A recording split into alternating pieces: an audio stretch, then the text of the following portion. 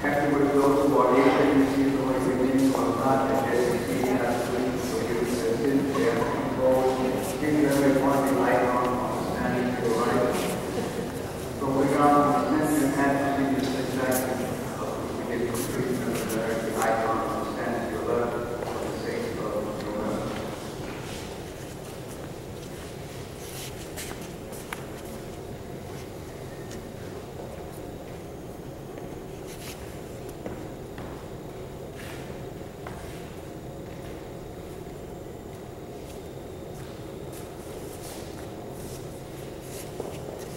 Let us pray.